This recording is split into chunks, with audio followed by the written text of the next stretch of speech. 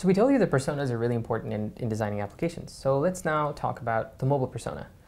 Now, when you think about your application's persona, no matter how different they are, no matter what they are exactly, they have to inherit from this superclass, which is the mobile user persona.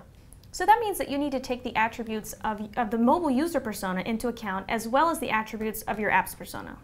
So Isabel, what are the attributes of this mobile user persona? Well, the first attribute would be that they have a finite data plan and finite amount of battery. They also have divided attention. Yeah, exactly. When I'm using my phone, I'm always doing like five or six things at the same time. There's also something called handedness, which has to do with how a user holds the phone in their hands. And then, of course, the mobile user has a very small screen. And also, because the user is moving around, they usually have very sketchy network access. Yeah, this is a really important one, and we will dive into this much more deeply in lesson four.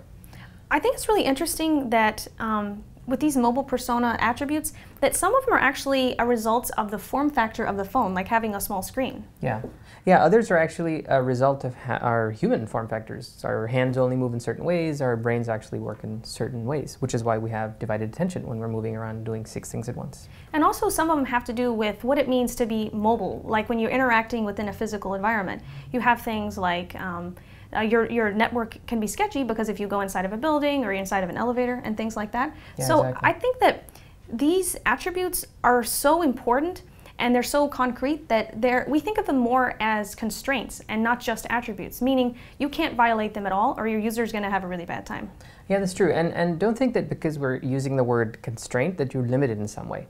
Innovation is spurred as a result of constraints. So it's our, it's our challenge to actually leverage these constraints and create really compelling experiences given that this user is going to have finite data and battery, divided attention, and all those other limitations. And we should also, since we're in the subject of constraints, let's not forget about the power that you have on mobile. You can create amazing real-time location-based experiences that are simply not possible on web and desktop.